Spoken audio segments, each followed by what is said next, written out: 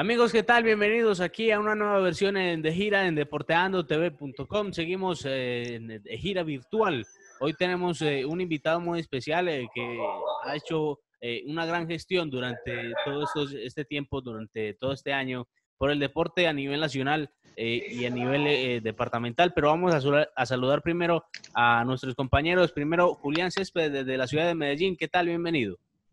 Hola Simón, ¿qué tal? Un abrazo grande, como siempre muy agradecido por, contar conmigo en este espacio. Un abrazo también a Matías, un abrazo al doctor Carlos Diago, que creo que la presentación es más que precisa, un hombre que no se puede decir que ha hecho cosas importantes solamente por el Cali o solamente por el Valle del Cauca, sino a nivel nacional porque está ofreciendo soluciones, está entregando soluciones y está poniendo a disposición los escenarios de la ciudad pensando en el deporte, no solamente a nivel departamental, como usted lo dice, Simón, sino a nivel nacional.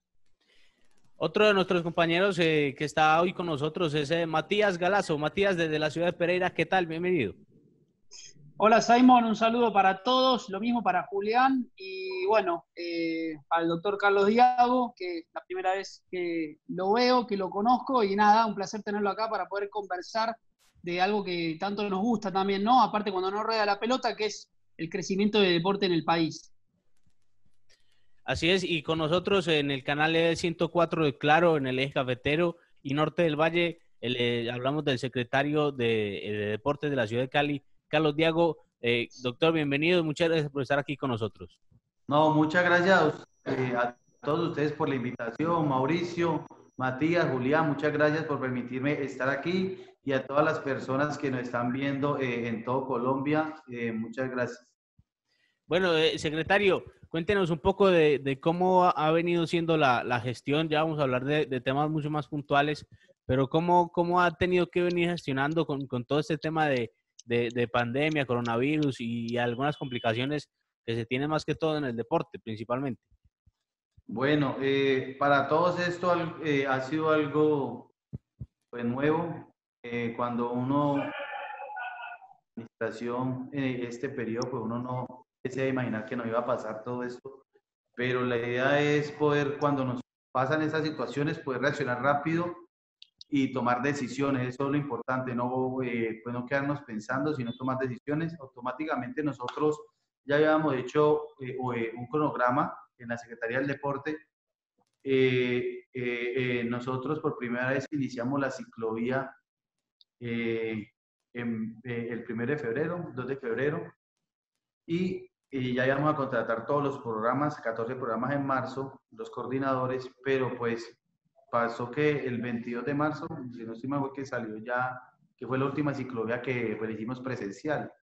Entonces, esa semana ya no se podía salir a la calle, pues por la cuarentena, nos tocó tomar una decisión con esa ciclovía, que son más o menos casi 300 personas que dependen eh, pues de la ciclovía en Cali. En su mayoría son madres cabezas de hogar, gente en, discapacidad, adultos mayores.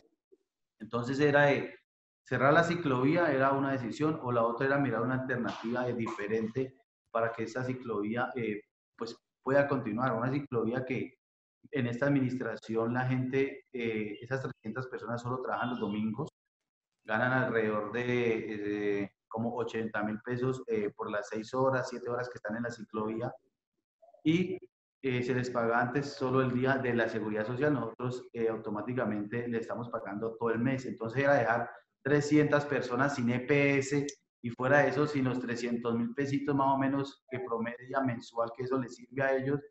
Entonces, pues no podíamos terminar la ciclovía. Entonces, con los jurídicos reaccionamos esa misma semana y cuando se paró la ciclovía el 22, a los 8 días la comenzamos ya eh, de manera virtual, de manera virtual y donde ya esos, eh, esos promotores que estaban en la calle ya estaban desde su casa con las redes, compartiendo, comentando por WhatsApp, enviándole a todo el mundo y hicimos la ciclovía de forma virtual. En esa primer ciclovía que hicimos, eh, esa la vieron más o menos 200 mil personas, un alcance de, de 200 mil personas, más de eh, interacciones, y eso se dio al trabajo de todas las personas, digamos, de la ciclovía compartiendo, comentando, y gracias a Dios eh, tuvimos un canal como lo es Winsport, que, que es un aliado, y hicimos esa alianza. No nos están cobrando un solo peso a la alcaldía de Santiago de Cali y nos estamos, solo hacemos la producción y le pasamos a ellos el contenido y ha sido un, eh, pues un éxito la ciclovía, no solo acá en Cali, en el Valle, sino en Colombia y en el exterior, en España, en Estados Unidos, ven la ciclovía. Y comenzamos los domingos a hacer eh, pues la ciclovía. Ya después eh, eh mucho Enwin y ya lo estamos haciendo no solo los sábados, sino también se hace sábado una hora, domingo una hora y de lunes a viernes una cápsula de 20 minutos. O sea que tenemos un programa de manera virtual y que le está llegando a todos, eh, a todos los caleños y a todos los colombianos en estos momentos que la gente necesitaba hacer deporte y que no se podía salir a la calle. Esa fue una alternativa y ahí comenzamos también nosotros a, eh, hacer todos los programas. Nosotros todos los programas lo estamos haciendo pues de manera virtual. Julián. Pues hombre, doctor Carlos, primero felicitarlo porque está pensando en la gente, está viendo la gestión y yo quiero preguntarle, yo no me canso de decir esto, pese a que soy del eje cafetero, pese a que resido en la ciudad de Medellín, pero ¿qué tiene hoy Cali que se está llevando todo? Porque es que, mire, vamos a tener allí, eh, Simón, mi querido Matías y queridos televidentes, Mundial de Atletismo, vamos a tener Juegos Panamericanos, el baloncesto se reactiva en la ciudad de Cali y ahora usted no quiere bajar la bandera, eh, doctor Carlos Diago, también con la esperanza para los caleños de que si el fútbol se reactive, se tenga presente el Estadio Pascual Guerrero. Claro, nosotros tenemos un gran proyecto movilizador. Eh, primero que todo, pues nosotros como eh, somos distrito deportivo del país, somos el único distrito deportivo que tiene Colombia y como eso nosotros pues tenemos que, que siempre tener ese liderazgo en el deporte. Entonces nosotros tenemos un proyecto movilizador que se llama Cali Ciudad Deportiva. Cali Ciudad Deportiva tiene varios ejes. Está el tema, eh, el tema de la economía, de la industria, pues, del deporte. Ahora con esta pandemia nos dimos cuenta del de, eh, dinero, el recurso que maneja el deporte. Acá en Cali hay más de 600 gimnasios. Esos 600 gimnasios que manejan más de 6.000 empleos directos, eh, más de 100.000 personas se benefician. Tenemos las fachas sintéticas y el deporte genera un, eh, un, recurso importante. Y es que ustedes los pueden ver eh, con los jugadores de alto rendimiento, por ejemplo, Jordan en su tiempo, Cristiano, eh, manejan grandes sumas, pero maneja un millón de veces más o mil veces más de la hecha de una camiseta, la hecha de una pantaloneta, unas zapatillas. Entonces también estamos trabajando con esta línea de la industria del deporte, de la economía, y vamos a hacer, ya estamos proyectando y que en el plan de, en el plan de desarrollo, la primer zona franca del deporte en Colombia, en el mundo, que hasta ahora hemos investigado, es la única zona franca donde van a venir eh, y vamos a, a, a, traer esas grandes industrias del deporte para que puedan eh, eh, venir acá a Cali y geográficamente pues estamos bien ubicados, tenemos a Norteamérica, a Sudamérica, que son grandes compradores de implementación, tenemos a Buenaventura hora y media, entonces estamos proyectando, diseñando, y ya lo tenemos en el plan de desarrollo como indicador, una zona franca del deporte. Aparte de eso, eh, eh, estamos fortaleciendo el clúster eh, pues del deporte, donde estamos, para nosotros no es solo la masificación del deporte, la recreación, la actividad física o el alto rendimiento, no, también hay otro factor que, los, como, eh, que es como lo dije ahora, es la economía, eh, la industria eh, pues, del deporte. Que si, hay que si fomentamos el deporte, esa es la otra línea, el fomento del deporte, si fomentamos el deporte con nuestros programas que estamos implementando, estaba la ciclovía que viene desde hace 30 años, que comenzó de manera natural en Cali, la misma gente hacía la ciclovía, ya después el municipio adaptó la ciclovía y la cogió y ya la hace el municipio. Entonces ahora en Cali está sucediendo un fenómeno en, estos últimos años. La gente está saliendo a hacer bicicleta y corriendo eh, frecuentemente jueves, martes, jueves, sábado y domingo. Entonces creamos un programa que se llama Rutas de Vida y es donde nosotros desde la alcaldía estamos acompañando. Es como una ciclovía eh, cuatro días a la semana. Ya cuando una persona hace ejercicio o hace actividad física cuatro días ya tiene un proceso. Entonces es fomentar el deporte, que si fomentamos el deporte, pues cuando, eh, cuando hacemos esos grandes eventos, pues la gente va a ir, porque a la gente le gusta el deporte. Por eso cuando fue lo de el Mundial Sub-20 eh, de fútbol, Cali tuvo la mayor asistencia. Cuando el World Game fue un éxito eh, pues, total en asistencia. Esa otra línea, eh, pues la de los eventos, la otra línea es el tema de la academia. Nosotros tenemos cinco universidades del deporte. Está la Universidad del Valle, está la Santiago, está la Buenaventura, la Camacho y la única universidad en Colombia que su objeto es el deporte, que es la Escuela Nacional del Deporte, y fue la primera en Sudamérica. Y el tema de la infraestructura deportiva es otra línea muy importante. Nosotros tenemos una infraestructura muy importante acá en Cali y la estamos fortaleciendo. Eh, vamos a crear, vamos a crear, no vamos a construir, está en el plan de desarrollo también. En marzo eh, vamos a construir el centro de alto rendimiento en Cali. Sería el segundo, ya Bogotá tiene uno, Cali sería el segundo, eh, pues la segunda ciudad con centro de alto rendimiento porque necesitamos también fortalecer el alto rendimiento acá en Santiago de Cali. Con nuestros escenarios también, eh, con lo que es los Juegos Panamericanos, estamos aprovechando para hacerle unas adecuaciones y la infraestructura nos parece muy importante. Eh, las oficinas jurídicas de construir hace 50 años nos toca eh, tumbar los trampolines. Esos trampolines los, pues los vamos a tumbar, pero vamos a hacerle algo diferente. Le vamos a hacer un trampolín de 27 metros. 27 metros que hay un deporte que es clavo de altura, que practica Orlando Duque, y en el mundo solo hay un escenario con este, así, eh, pues de 27 metros. Los demás son naturales, se tiran desde puentes, desde peñas. Entonces vamos a construir eh, ese escenario de clavo de alturas para que, como se hacen cinco copas Red Bull en el mundo, pues una de esas nos la, podamos traer a Cali. Que cuando en Europa estén en invierno o en Estados Unidos estén en invierno, pues ¿dónde se van a venir a practicar? a cada Cali que tiene su escenario. Entonces estamos con ese enfoque, tener infraestructura, tener la industria, la academia, fomentar el deporte y pues muy importante que con todo eso, entonces cuando se piense siempre en hacer un, un evento del de, deporte y tener éxito, que el Comité Olímpico diga, no, lo hagamos en Cali, que el Ministerio diga, no, en Cali, que alguna federación diga, no, si queremos hacer un, eh, exitoso, un gran evento, pues tenemos a Cali porque tenemos el escenario, tenemos los espectadores, tenemos la gente que le gusta, tenemos la industria. Entonces, eso es Cali Ciudad Deportiva y a eso le estamos apuntando y eso estamos construyendo con el alcalde Jorge Iván Ospina, que digamos es el gran líder de este gran proyecto. Bueno, eh, y, el, tema, el tema, el tema, el, Julián, permítame un momentico, eh, vamos a una pausa y, y, ya regresamos con mucho más aquí en De Gira para que también Matías eh, le pregunté al, al, secretario de Deporte de la ciudad de Cali. Vamos a una pausa aquí en De Gira y ya regresamos con mucho más. Aguardiente Cristal, Ron Viejo de Caldas y Aguardiente Amarillo de Manzanares te invitan a vivir tu Virtual Party, una iniciativa a través de redes sociales y las principales emisoras del país, para que te reúnas con tus amigos y disfrutes junto a nuestros invitados especiales de miércoles a sábado preparando cócteles. No te lo pierdas, Virtual Party, brindemos, salud. El exceso de alcohol es perjudicial para la salud, prohibido el expendio a menores de edad. AINCA, seguridad y protección limitada Protegemos bien.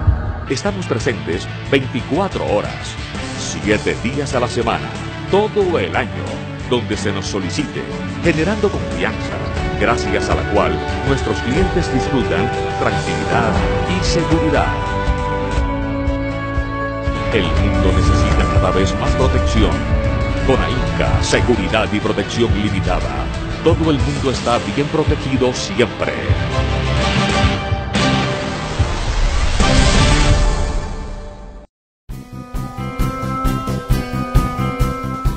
Crédito de emergencia, la opción que Confacréditos tiene para los afiliados que en este momento necesiten comprar mercado o medicamentos. Solicita tu crédito de emergencia en el teléfono celular 311-386-2816 o al 320-834-9041 o en el teléfono fijo 878-3111 extensión 1338. Confa Créditos.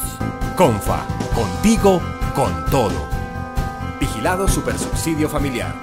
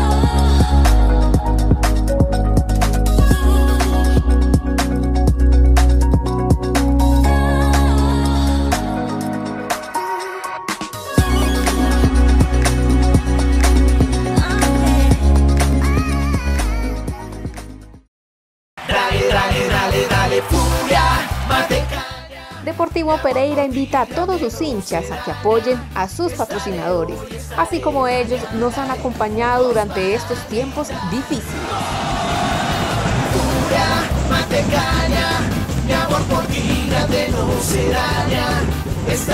Notas de esquina. El libro de Raúl Quijano Posada, de venta en la carrera séptima 2641. O pídalo al 317-762-3923. Notas de esquina. El libro. El uniforme bailaba al ritmo de sus gambetas. Y unos guayos 41 cubrían sus pies número 38, mientras pedazos de periódico llenaban la diferencia. Regresamos aquí a De Gira en deporteandotv.com. Seguimos hablando con el secretario de Deportes de la ciudad de, Cali. Eh, ahorita se estaban peleando un poquito por preguntar, ¿quién va a empezar aquí, Julián o Matías? No, el turno es de Matías, el turno es de Matías, pero, pero quiero adelantarme con algo porque, doctor, se le escapaba de pronto el tema eh, que a muchas personas les interesa en el eje cafetero, le preguntaba por la reactivación del fútbol, que ustedes también quieren ser protagonistas, que quieren tener el Pascual de Guerrero como protagonistas y también que puede haber noticia para el eje cafetero porque eh, en conversación que tuvimos usted y yo me comentaba que tuvo acercamientos con el secretario de Deportes de Pereira. Eh, ¿De qué se habló? ¿En qué va ese tema? No, eh, en su momento cuando se dio la oportunidad en primera instancia que se pudiera reactivar, nosotros eh, como Cali eh, fuimos los primeros que, que eh, dimos nuestra posición de poder respaldar que, que se hiciera el torneo como sede única. Después, en el transcurso que ya se manejaron varias, como ustedes, hubo una comunicación de Pereira y yo hablé con el subsecretario y pues miramos la posibilidad eh, que se pudiera, digamos, hacer eh, eh, una, una, coordinación entre el cafetero y Cali, pero digamos eso, eso quedó quieto, o sea, no, pues no ha vuelto a haber conversación pues con el secretario. Él iba a hablar con el alcalde y está pendiente. Mati. Pero, pero sí, sí podría ser una propuesta articulada con el eje cafetero o no. Sí, claro. Eh, yo creo que es que son, eh, eh, son 18 equipos, ¿cierto? ¿18? 20. Pues en realidad son, serían 36 si pensamos en liga y primera y segunda división. Sí, entonces Porque si se piensa, perdón doctor, si se piensa en, todos los equipos, por eso le pregunto, si se piensa en la liga y en el torneo son 36 equipos, entonces realmente se necesita, ah, bueno. se necesita un poco más de infraestructura de repente. Claro, claro. Eh, pues me parece que Cali, eh, Valle del Cauca, el cafetero, pues tiene una, eh, unas vías muy importantes y es muy fácil la, pues, la comunicación entre el Valle y el eje cafetero. Entonces sería ideal y nosotros tenemos toda la disposición. Nosotros sabemos de lo importante que es el deporte para reactivarlo. Así se haga en Cali, se haga en Bogotá, se haga en Medellín, en Barranquilla. es llevarle a, a los colombianos eh, un momento eh, eh, sacarlos de esto que estamos viviendo y, y, que se puedan recrear, estar en familia y estar en su casa. Pueden llevar eso. Y hablando en términos futbolísticos, ya se anotó un, un gol llevándose el, el, el, campeonato de básquetbol de este año. Sí, sí, sí, eso fue una canasta de tres puntos ahí, eso. faltando dos segundos. Entonces, ¿qué, y, y, cómo se dio la negociación o cómo, cómo se anotó ahí ese triple sobre el No, nosotros tenemos todas las ganas, eh, toda la voluntad de poder apoyar estos procesos y más el baloncesto, que vemos como una oportunidad, porque es que el baloncesto eh, eh, realmente es un deporte que apasiona mucho y de pronto no se le ha dado de pronto el apoyo y el respaldo que realmente se le tiene que dar y, y queremos hacer eso apoyarlo, apoyar eh, al baloncesto colombiano. Por eso eh, el tema de acá mismo de, de, ya eh, también estamos coordinando eso. El equipo se va a llamar Team Cali Puro Corazón y queremos pues que después de 28 años vuelva otra vez a ser campeón la selección de baloncesto de Cali del Valle. Eh, doctor Carlos Diago, yo, yo, tengo una pregunta y, es un poco ah, hablando de un tema de, relaciones de, del baloncesto con el fútbol, que son los últimos dos temas que hemos tocado. el, protocolo, eh, ¿cómo es para, para los jugadores de los equipos de baloncesto? Porque si se hace con una disciplina, se puede hacer fácilmente con, con la otra. Sí, hay como, eh, como en el fútbol. De todas formas, digamos, todos los protocolos tienen que venir del Ministerio de Salud con el Ministerio del Deporte, ¿cierto? Aprobados. Y aquí lo, eh, acá lo que tenemos que hacer como Cali es validar nomás, validar que se cumpla esos protocolos que ellos han pasado. Eso es lo que nos toca como Cali, que se valide.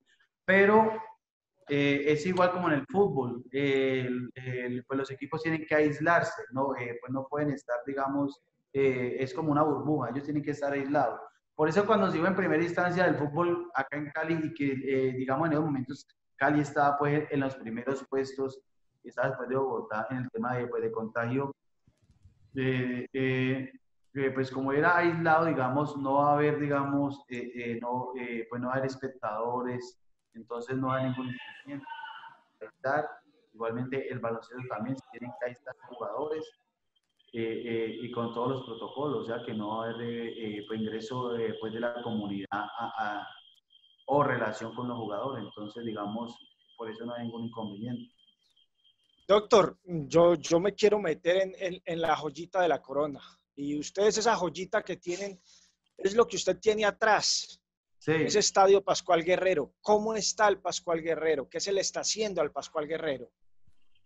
No, el Pascual Guerrero, desde el antes del primero de enero, cuando, eh, eh, eh, cuando hicimos empalme, desde, pues, desde ese primer momento comenzamos a ver el estadio. Lo primero que hicimos fue hacerle cambiar esas bombillas en enero, se cambiaron todas las lámparas, se redireccionaron para que cumplieran, porque es que estaban en 1400 lux, que es la medida, ya están en 1956.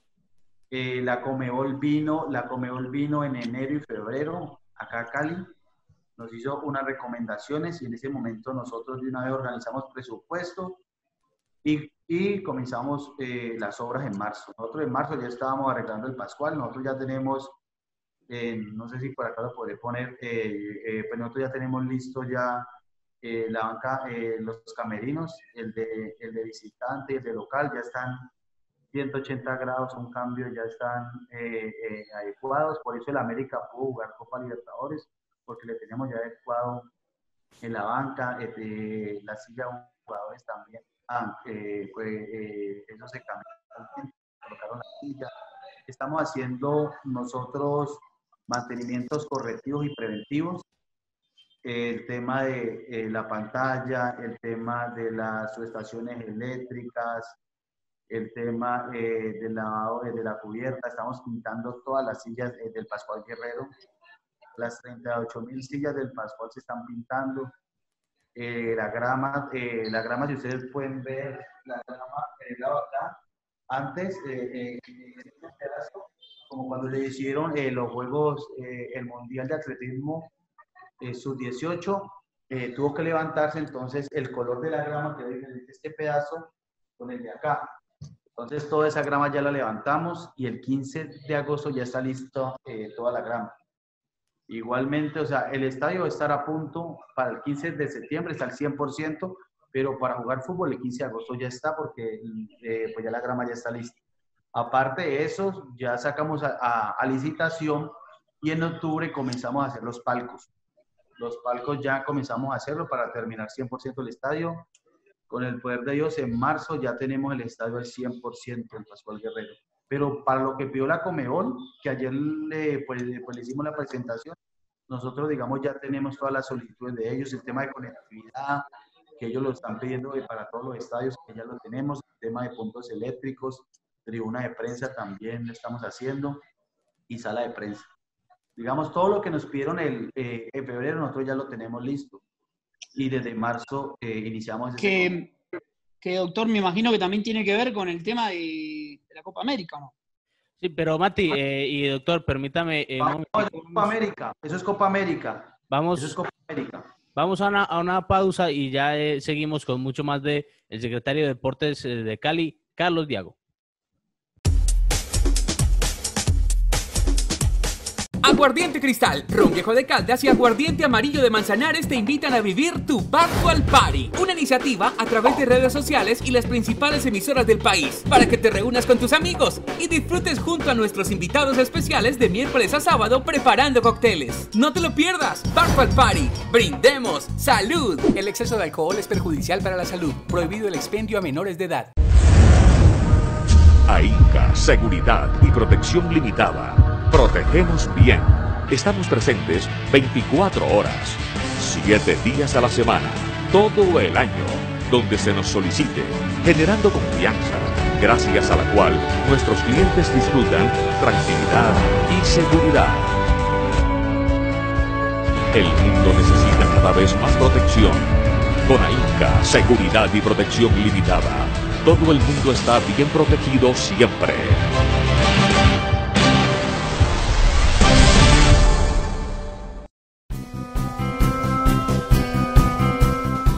Crédito de emergencia, la opción que Confacréditos tiene para los afiliados que en este momento necesiten comprar mercado o medicamentos. Solicita tu crédito de emergencia en el teléfono celular 311-386-2816 o al 320-834-9041 o en el teléfono fijo 878-3111 extensión 1338. Confa Créditos. Confa, contigo, con todo. Vigilado Supersubsidio Familiar.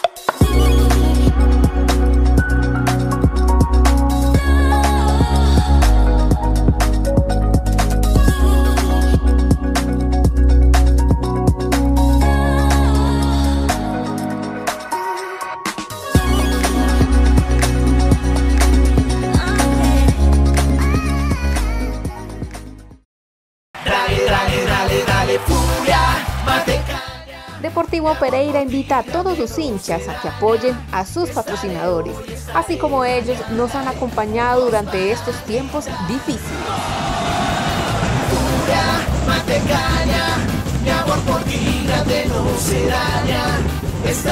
Notas de esquina.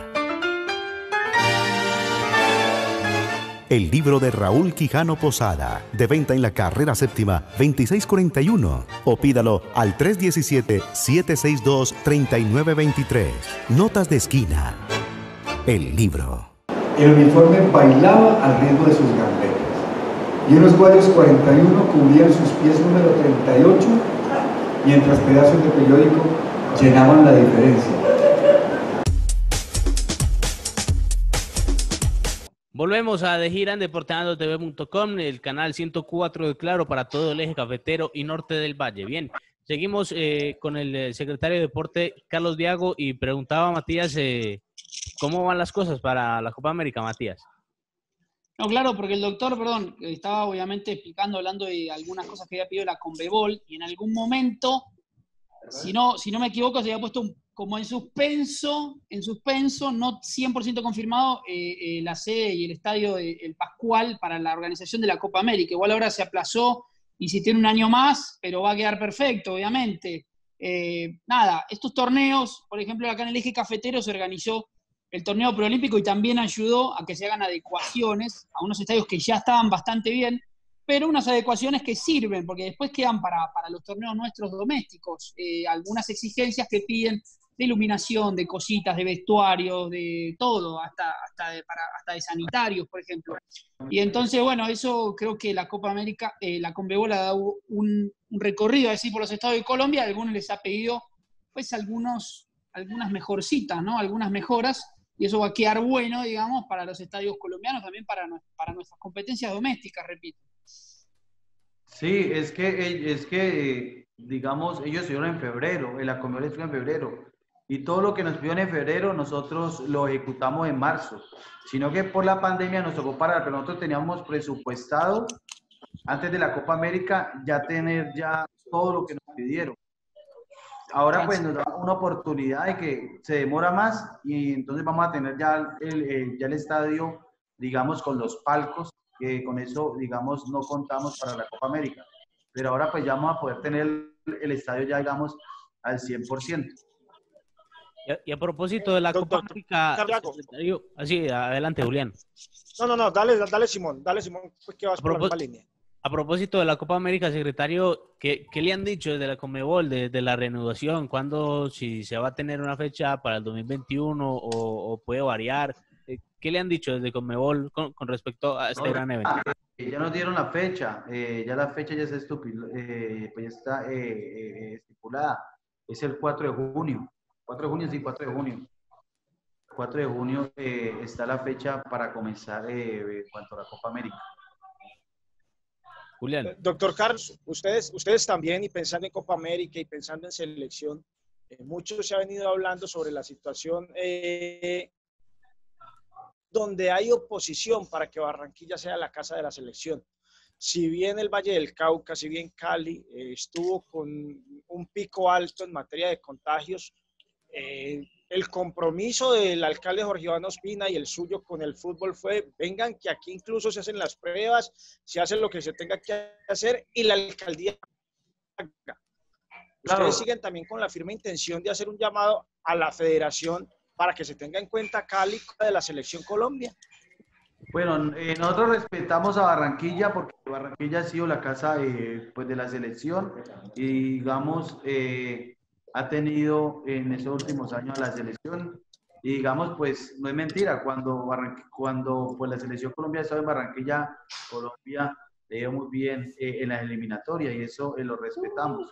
Pero si, si Barranquilla dice que no eh, albergaría a la selección Colombia, pues nosotros tenemos toda la disposición, el alcalde Borribano Espina tiene la disposición y tenemos la capacidad y la infraestructura eh, para, que, para que Colombia se quede para, eh, pues para, el, para las eliminatorias. Bien, eh, Mati.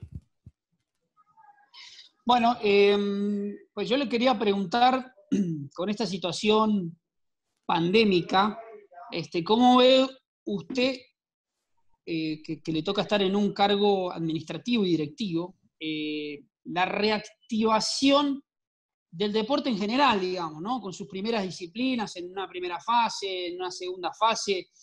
Eh, ¿es, ¿es, sencillo, ¿Es sencillo para ustedes, para los mandatarios, organizar todo esto? ¿O, cómo, lo, cómo, se organizan, digamos?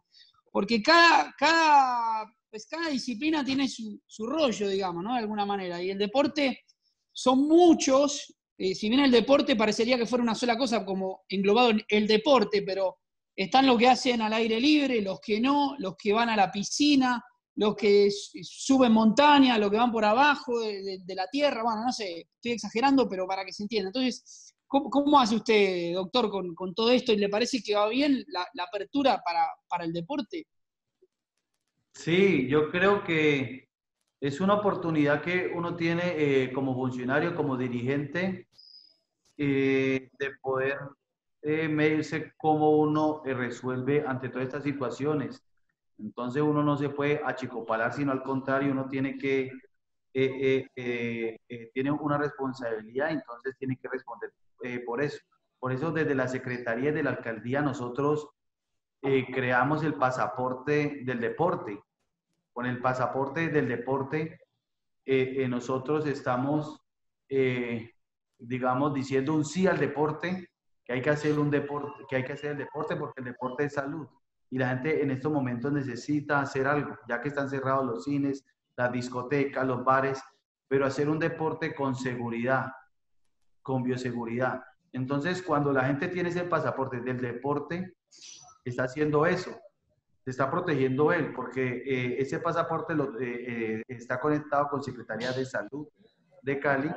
Y la persona tiene COVID, no le sale el pasaporte, Si, la, eh, pues si un familiar tiene COVID no le sale porque eso tiene pues, una cadena de custodia, que si una de esas ocho preguntas es sospechoso, porque le hacen ocho preguntas, pues no le da el pasaporte. Entonces, si yo tengo el pasaporte y las personas que están haciendo actividad física conmigo al lado tienen el pasaporte, pues eso va a disminuir el riesgo de contagio de las personas que hacen actividad física. Pero si uno de ellos no lo tiene, ahí es donde, donde, donde digamos, no estamos siendo responsables y eso es lo que estamos haciendo en Cali, esa pedagogía. En Cali ya tenemos más de 90 mil personas que tienen el pasaporte pues, del deporte. Eso significa que hay un respaldo, que la gente quiere hacer deporte y que la gente es responsable de hacer actividad física. Entonces, en primera instancia, se ha hecho eso en Cali, eh, eh, sacar ese pasaporte.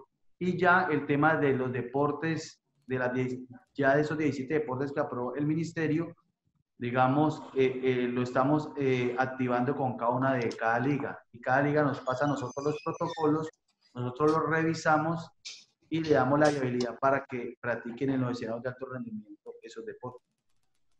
Bien, doctor Carlos Diago, se nos acabó el tiempo, lastimosamente, Julián, ya con el, con el secretario de, del Deporte de Cali, pero le agradecemos mucho su tiempo y la verdad hemos, hemos aprendido mucho eh, con lo que se puede hacer para, para, esta pandemia, para reactivar y salvar un poco, eh, como usted lo decía en su momento, la industria del deporte, porque algunos eh, mandatarios lo miran como, como una recreación, pero la verdad es, es un sustento de vida para, para muchas personas. Muchas gracias por su tiempo y lo felicitamos por, por su gran gestión a lo largo y ancho de lo que significa el deporte para el país y para la región. Muchas gracias. Muy bien, eh, es todo por hoy aquí en eh, De Gira en Deporteando TV. Julián, ¿algo más? Oh, eh, Simón, agradecer el espacio, agradecer al Carlos Diago, la verdad también su tiempo y, no es más que, que, reiterar las felicitaciones que usted le entrega, porque se está haciendo trabajo en Cali, no solamente para el deporte de la ciudad, que mm, me atrevo a decirlo, la ciudad, la capital del deporte, en el país y que también están pensando en país, lo que ofrecen de Selección Colombia, lo que están haciendo con el pasaporte deportivo, lo que están ofreciendo incluso para que se reactive el, el, el, fútbol, no solamente en el Cali, en Cali, sino en el Valle del Cauca. Entonces, no, felicitar la gestión y, y, creo que esos espacios tienen cabida, Simón, aquí en Deporteando TV. Sí, claro, todo lo que sea deporte y para el bien del deporte va a ser recibido aquí en Deporteando TV. El deportivo, por ejemplo, vea.